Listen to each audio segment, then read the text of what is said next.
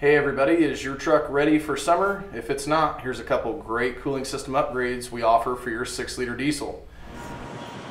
Here you can see we're removing the old 6 liter water pump. This has a plastic impeller on it, prone to failure, so we eliminate that with the bulletproof water pump. Bulletproof water pump has a billet all aluminum impeller. Here's the bulletproof water pump and you can see the O-ring being installed. The O-ring will come included with the water pump, so you'll be good to go with a seal. Here we're installing the bulletproof water pump in the front cover. Here we're just reinstalling the water pump pulley. Water pump pulley is what the belt drives to actually spin the water pump. Reinstalling the bolts there.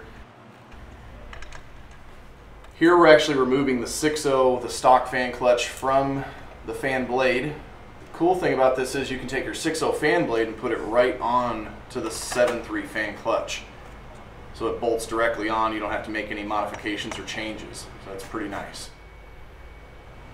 Here's the, the key to it all is the fan clutch adapter. This is what will allow you to uh, adapt the 7.3 fan clutch to the 6.0 water pump. Here's the fan shroud or fan stator being reinstalled.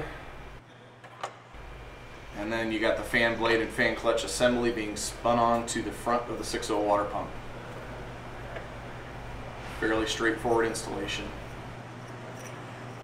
All right, and if there's any questions, please give us a call. We're happy to help.